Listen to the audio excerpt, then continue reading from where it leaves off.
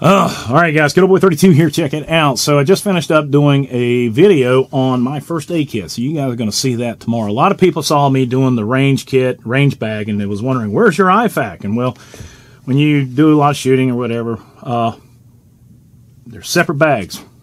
Shooting stuff first aid stuff. anyway, okay, so uh, the purpose of this video, I want to talk about the hypocrisy of these folks in the, uh, what do you call it, the Judiciary Committee in the House. Uh, when they were talking about doing this red flag deal, um, a lot of the Republicans were wanting to enact this thing where they would uh, go after gang violence as well, and make it part of the red flag law. Now we all disagree on this red flag law. We don't don't think for a second that I am in agreement because I believe in this guy right here. This is the Constitution of the United States of America, USA, and uh, with the Declaration of Independence. Very cool. So, um, one of the things that uh, they were trying to do with this red flag law is, and, and you know what?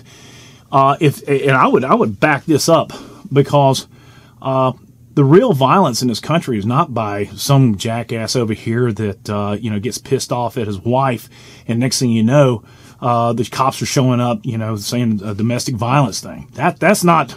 I, I realize that that's a bad thing, but it's not what they're trying to do. What they're trying to do through this red flag deal is disarm Joe Public in an effort to kind of enhance this red flag law to where it would actually accomplish something some of these Republicans were pushing the fact that we needed, or they needed to, start looking at going after the gangs. I mean, here's the whole thing. You've got to think about where's all the gang violence. You've got Los Angeles, you've got Chicago, uh, New York, Baltimore, most of your larger municipalities who are run by who? That's right, Democrats.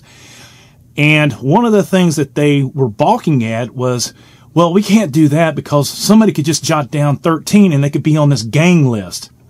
And, you know, it was in my, in, uh, okay, so let's back off. So it was real amazing to me is that these individuals were balking at this whole thing. We can't do that. There's, there's children on that list. You know, they just, they, they can, there has problem with that.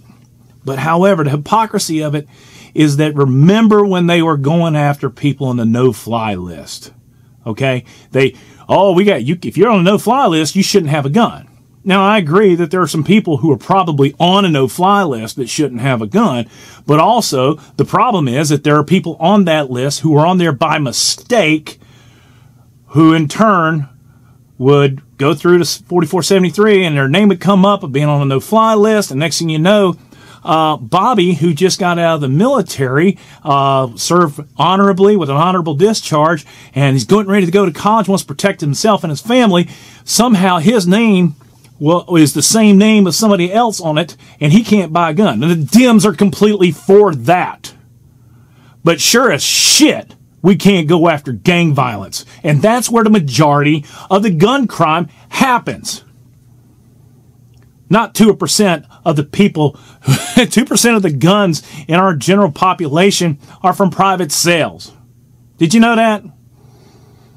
I'm probably wrong on that because I just read something on headlines and I just throw it out there, whatever. So, anyway, my whole deal here is the hypocrisy of these individuals this, who are led by Jerry Nadler and these other jackasses who have introduced everything that can stick to the wall in an effort to prevent you and myself from having the firearm we deem fit. This competition firearm would have been on a list because it is capable of holding more than 10 rounds.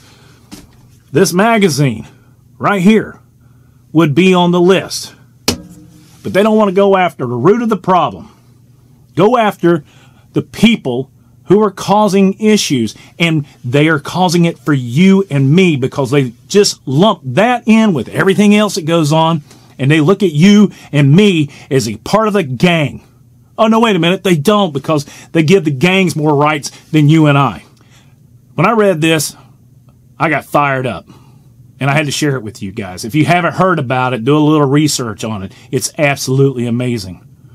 But the mere fact that these jackasses won't let the gang portion be a part of the red flag, but they also want the no fly list to be reported to the 4473 or NICS is absolute BS. You guys let me know what your thoughts are down below. I'm Kotaboy32. If you support this video, give it a thumbs up, share, like, subscribe, and all that other neat jazz. We always end it like this. See that flag right there? You guys see this right here? God bless America. God bless those men and women in uniform. And I'm talking about those who uphold our Constitution, and you know what I'm talking about. Hold on, I gotta think what the hell I got else to say. I get fired up. Anyway, y'all be good. I'm out of here. Be yeah, mm, that other jazz. Talk to you later. Go. Bye.